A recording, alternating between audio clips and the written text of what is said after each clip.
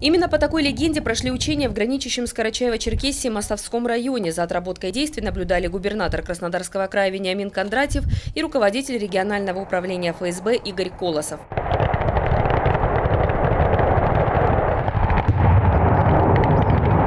Учения проходили в рамках Краевого совета безопасности. В преддверии майских праздников губернатор вместе с руководителями прокуратуры, ФСБ, Следственного комитета обсудил работу всех ведомств. На 1 мая и День Победы полиция, МЧС, Росгвардия и другие спецслужбы перейдут на усиленный режим работы. За порядком в крае будут следить больше трех тысяч полицейских и четыре с половиной тысячи казаков.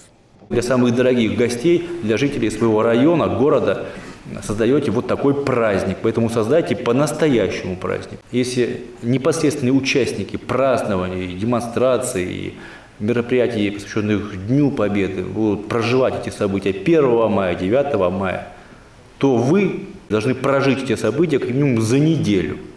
Пройти теми же маршрутами, продумать логистику, только не принять доклад от кого-то, а сами сели, прошли, а где нужно проехали.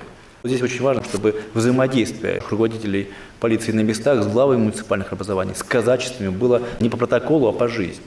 Потому что э, порой тоже можно наблюдать ситуации, когда одни кучкуются, там, непонятно какие товарищи в одном месте, патруль кучкуется в другом месте и друг друга почему-то не видят. Все сидим за одним большим сейчас столом одним большим. И он вот столом Мостовской не заканчивается. В каждом муниципальном образовании его продолжение. Поэтому задайте вопрос, обозначьте ситуацию, обозначьте проблемы, если вдруг где-то что-то не склеивается. Потому что потом никаких оправданий быть не может. Мы создаем условия, и я лично максимально создаю условия для того, чтобы вы взяли и конструктивно подошли к решению любых задач. Криминогенная ситуация в крае показывает, что есть незначительный рост преступлений, совершенных на улицах и в общественных местах в связи с чем необходимо скорректировать маршруты патрулирования сотрудников полиции, расстановка патрульно-постовых нарядов в населенных пунктах, на период праздников обеспечить круглосуточное дежурство, мест массу пребывания людей. Вениамин Кондратьев также посоветовал главам районов плотнее работать с общественностью. Это дополнительный источник информации, который часто позволяет предупреждать преступления на бытовой почве. Вы просто работаете с квартальными четко работаете с квартальными и э, с руководителями ТОСов.